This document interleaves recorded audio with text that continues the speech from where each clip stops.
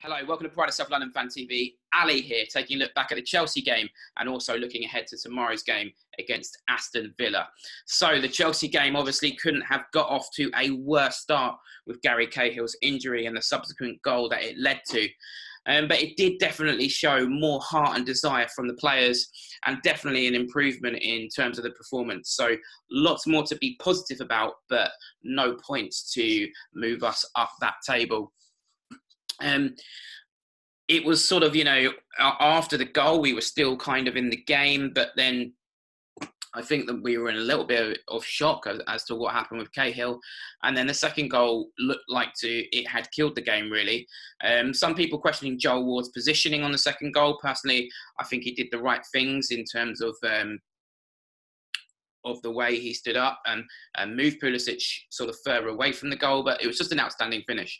Um, from Pulisic, and and there was nothing really we could do on that one. I, I, think Vincenzo would have had to have pulled out an amazing save to stop that one. So a great goal from Chelsea on the second one. Um, and then, you know, you're, you're sitting there and you're thinking, here we go again after the recent performances. And then just from nowhere, a thunderbolt comes from Wilfried Zaha. And, and the only uh, comparison I can make to it really is, is like if after our last few dire performances. It, has been like it, that Zaha goal coming from nowhere is like sitting through a Peter Andre concert. Terrible tune after terrible tune, and then suddenly a banger comes along, a mysterious girl. Well, Wilfried Zaha banger came along, and, and suddenly we were back in the game. And, and, the goal definitely made me stop and stare. And then I tried to concentrate on the rest of the game, but my mind just wanted to explore the replays of that goal. Um, when Wilf plays like that, he is our heart desire, and he definitely sets our soul on fire. Um, but in all seriousness, um, it was good to have Zaha back to more of him, his old self.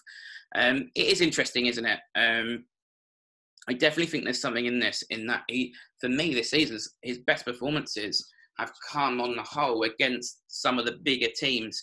And I think for me, there'll be skeptics out there saying he's playing for a move to, to some of these bigger teams.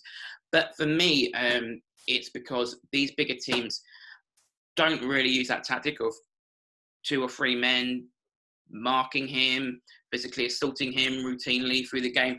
They've got more faith in their own game and their own ability to bring the game to us and um, that that gives Wilf a little bit more space. Um, and for me, get I mean, particularly having been at the Emirates this season, um, where he got a lot of space. Um, I think against the bigger teams, he he he actually, ironically, gets more space to to do his thing, and he looks more comfortable.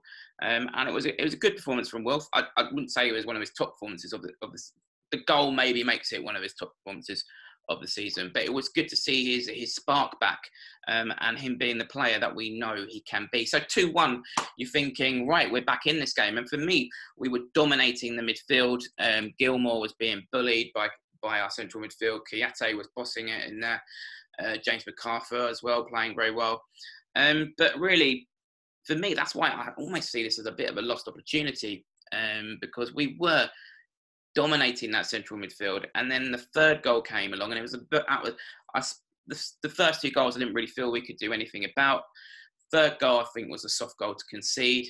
Patrick Van Aanholt jogging back is not a good good image. Um, so disappointing. Um, some people as well are there saying Joel Ward, and Joel Ward was a little bit more to blame on that one because he was playing them on uh, Abraham on in an onside position. So disappointing goal to concede on the on the third, but then suddenly we're back in it like a minute later. And who scores? Christian Benteke. Um, and and that's a shame, really, that the fans weren't there to share that moment with him. His first goal in a while at Selhurst Park. Uh, it's good to see him sort of starting to boss defenders around again, and, and we're seeing more of the old Christian Benteke. And we, we felt, didn't we, like he was getting himself back into form just before lockdown. And all he needed was, a, we're saying that for a long time now, all he needed was a goal, but he did get that goal, and hopefully we'll see him score some more tomorrow at Villa Park at, on his old stump on his old uh, stamping ground. So uh, moving on, it's three two. Uh, at this point, um, you're thinking we can get back in this game. As I said, we've dominated the central midfield, and after the goal, you felt like we could develop some momentum, but the momentum stopped and the game, we allowed the game to fizzle out. And, and I've got to come to this. Um, for me, again, rearing its head is Roy's in game management. Um, he did not bring on Andros Townsend until the 80th minute. And then he did his usual substitution of James McCarthy for James McArthur, again, defensive midfielder for defensive midfielder. Now, I've got two issues here again. One is why did he leave it to the 80th minute? You know, we're, we're back in it 3 2 with around 20 minutes to go. And then you look at what happens on the opposite dugout. Now, I know Chelsea have a lot more options on their bench than we do. But Jorginho coming on, obviously, then for them, it sort of changed their, their impetus. I mean, there was a stat that they then had 80% of possession. Now, obviously, we don't have a Jorginho on the bench, but we do have a couple of options. Why not use those options? And for me, those options who, who could potentially change a game for us or or change our style. And they are those two players are Andros Townsend and Max Meyer. Um, Max Meyer didn't get used till the 89th minute. Um, at least he came on in a central position this time. I'm not sure what Luka's got to do to be taken off. For me, he was very poor again. His passing leaves a lot to be desired at the moment. Um, but Townsend on in the 80th minute, it's too late. And by that point, the game was fizzling out. And my other issue is, why take Jordan Ayew off? Why not have Andros Townsend, Wilfried Zaha, Jordan Ayew, and Benteke on the pitch? We're losing the game. What are we protecting? A four games in a row defeat, four games in a row losing defeat streak? Or is that what we're protecting? I don't know. I'm, I'm kind of lost for words here, as you can see by Roy's in-game management. Um, Jordan Ayew is our top goal scorer. We need a goal, so we take our top goal scorer off. Now, I would agree that Jordan Ayew didn't have his best game. He was playing too deep. Why not put him up front with Benteke? Have Wilf and Townsend on the wings. Have two central midfielders. We've got 10 minutes to go. We need a goal. As I said, what, what, what, what were we protecting? Are we protecting our four defeats in a row? Um, it is very frustrating. Um, Palace fans are growing in frustration at Roy's in game management. So, obviously, there's just so much good about Roy, but this element of his management has frustrated for a while now, I think, and and it is getting more and more pertinent. Um, so interestingly, I ran a poll uh, this week to see where fans were at with this, and um, I gave three options. Now, the first option was Steven Gerrard with in a sort of Morelos combination. So if we got Gerrard, would we be able to then to attract Morelos?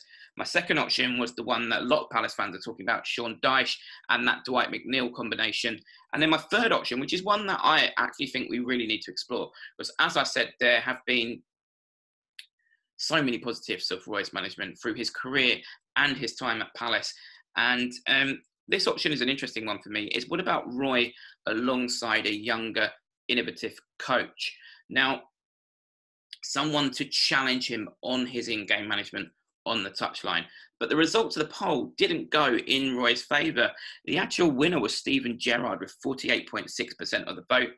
Coming in second, Sean Dyche with 31.4, and Roy, alongside an innovative, an innovative assistant, got 20% of the vote. So that sort of tells you where a lot of Palace fans' heads are right now.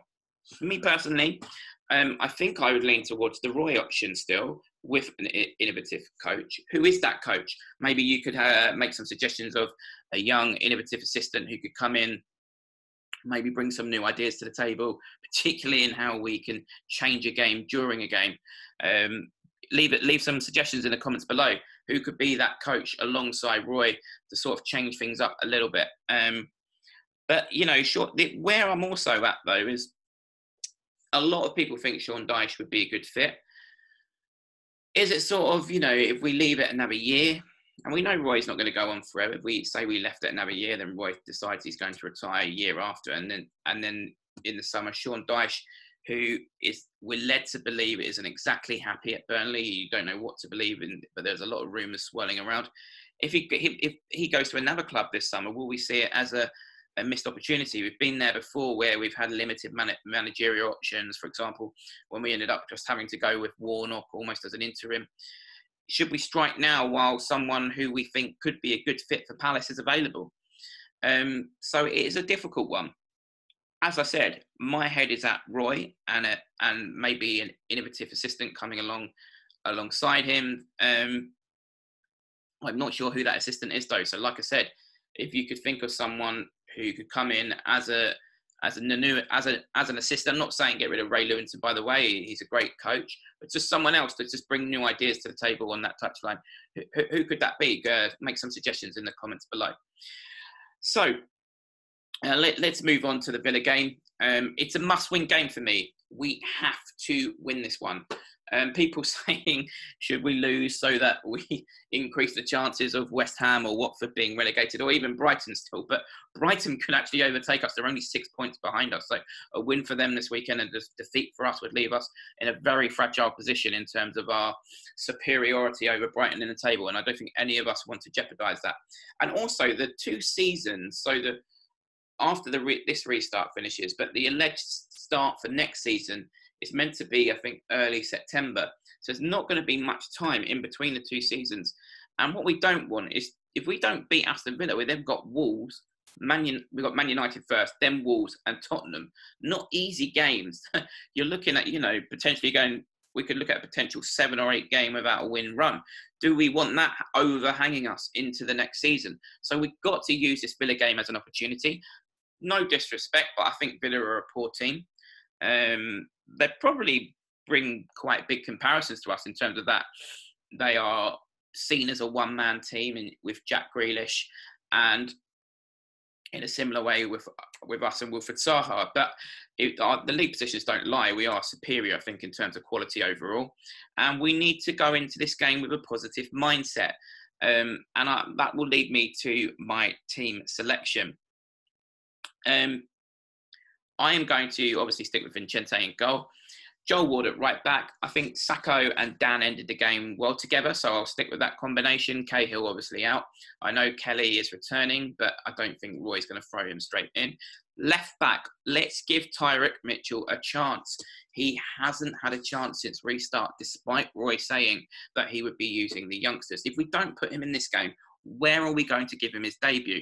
I know he came on for a few minutes, but his full debut we're not going to do, I wouldn't do it against Man United, the form they're in, or away at Wolves. So let's put him in against Villa, who, as I've said, beyond Grealish, I think are quite a poor side, uh, probably going to get relegated, and we could actually be the team who pushed them towards that drop on, on Sunday.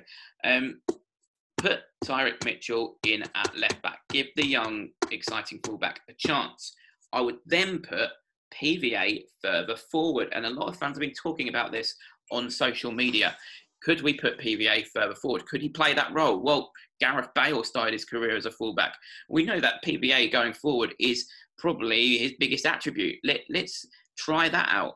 Um, and also, that would be quite good um, in terms of Tyrick making his debut. Um, Tyrick Mitchell making his debut is that um, you having PVA just in front of him would offer him that sort of protection, and PVA could sort of talk him through the game.